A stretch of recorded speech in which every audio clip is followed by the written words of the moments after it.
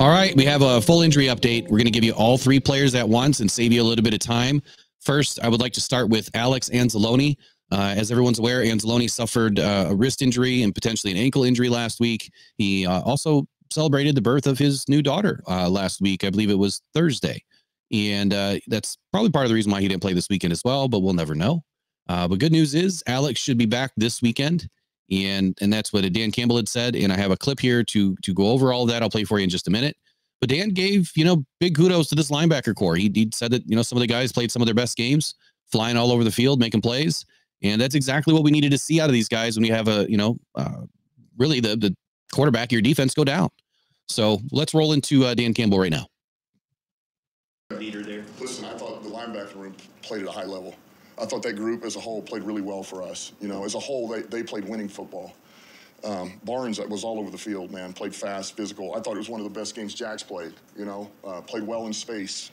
Um, you know, between he and and uh, Barnes, they both had the green dot at different times on the field and, and executed that well. And then we already talked about Germ. You know, Germ executed at a high level. I mean, we we we got to find a way to get him out there a little bit. Um, you know, uh, and then Rodrigo helped us out as well. So they all had a hand in it. Uh, the room was big for us, and uh, you know, that was another area that we felt good. If there's an area we, we've got depth and guys we trust, it's in the linebacking room right now. And so, if you know, hopefully we get we do get Alex back this week, and that just brings more firepower on defense.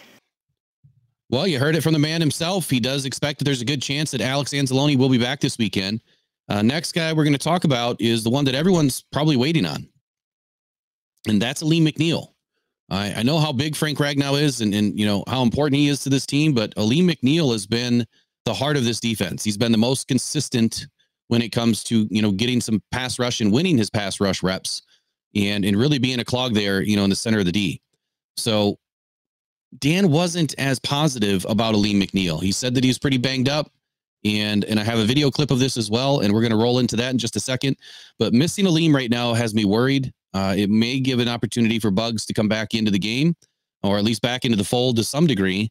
Uh, we do have Bohanna. Uh, we still have Brodric Martin, who hasn't played a whole lot. So there should be some opportunity for some of these guys to, to get activated. Whether or not they actually get into the game or not is yet to be seen. But let's roll into what Dan Campbell had to say about Alim McNeill. Front, Liam was really powering through some stuff yesterday. Just how did he come out of that, that game? Yeah, look, Max a little banged up. Um, so we'll know more on him probably in, I would say, a couple of days. So there's a chance he may, may not be up either.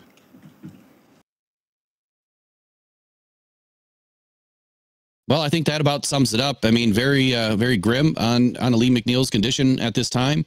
Uh, chances are that Alim McNeill is not going to be playing this weekend.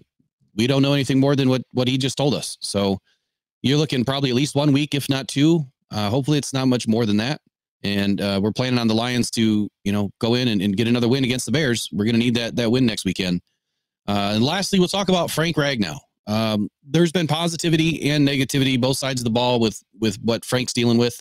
Uh, like I posted earlier today, the the sentiment was they were more worried that it was something significant.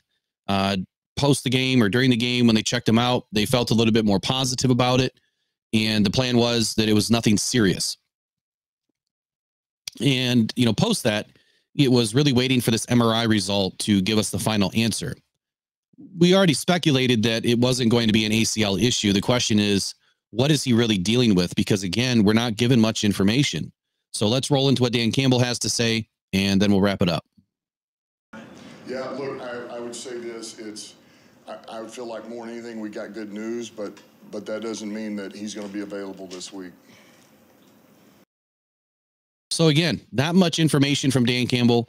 And again, we're kind of left, uh, you know, out here wondering what's going to happen. The good news is this Graham Glasgow has been excellent this season. He has done everything that's been asked of him. He's played both guard positions, right tackle, and he's done it at a high level. Single handedly, this is the best offseason acquisition that Brad Holmes has made. And, and I'm hoping that if Graham Glasgow still has something left in the tank after this season, that he wants to come back again. He, he's been, you know, kind of the Iron Man for this offensive line, staying healthy, and uh, and doing everything that's asked of him. I mean, what more can you really ask for? That's exactly why we got him. You know, that you don't want it for this moment, but it also is for this moment. Um, and even uh, to be able to make the move yesterday, you know, he's banging away at right guard, and then at the drop of a hat, he's got to go back in there to center. Um, and and, really played played well at center yesterday. So, um, man, it's it's it's valuable uh, to be able to have him here, and because we do have a lot of confidence in him playing center. Um, so, yeah, thank God we got him. Uh, at this point, though, my question to Brad Holmes is, would be this: When are you going to go out and find somebody to elevate this offensive line? Because we're suffering injuries left and right, and we have been for three seasons, and we have yet to really elevate it with some good, solid backups. Colby Sorsdal may be good in a couple of seasons.